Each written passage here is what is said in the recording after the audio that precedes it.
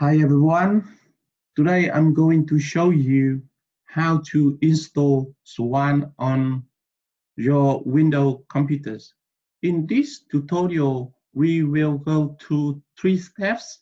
The first step is to download the Swan and the second step is to install the software and the last step is to run the test case.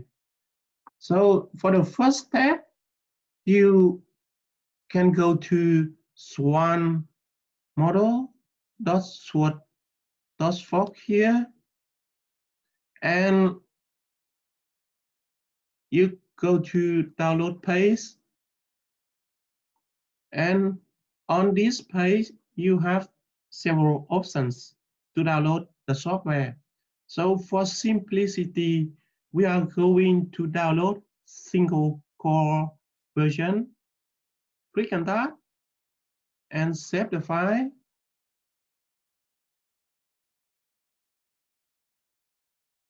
And now you already downloaded the um, Swan software for single core version. So the next step is to install the program. So double click on that. You may see this notice out? If so, you click on more info and click run away. Click yes and select I accept the agreement. Next, next. Here you can select to this option to have a desktop shortcut or you can select all. Click next, install.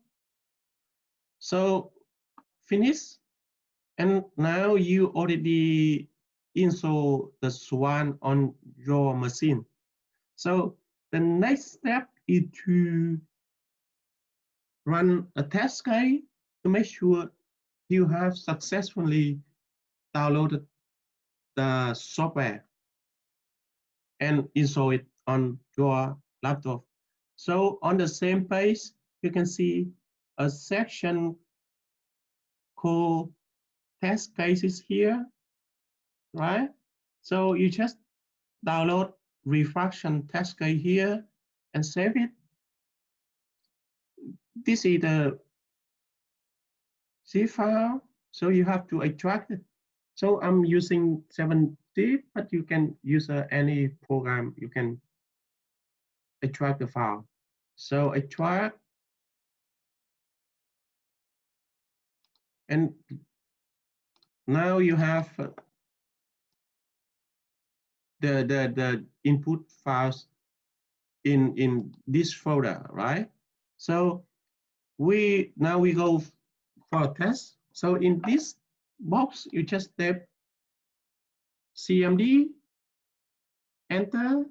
So you have um, a command prompt here, right? But now you have to go to the, um, the folder, the directory where you save the, um, the desk here. So copy this part and go to command prompt, have cd, and enter. So you see, now you go to refract folder, which is here, right? So in order to run a test case, you just have swan swan run and you have to have this input file, right? Without extension. You see, here I don't put SWN here. Okay, so now run this, in order to run this set guy, you just press enter, right? So it's running. So at the end of simulation, without any problem, you should see normal and upfront here, right? So in summary, you already installed successfully Swan on your Windows machine. So if you have any question, feel free to contact me via email address huy2013 uq at gmail.com. Good luck.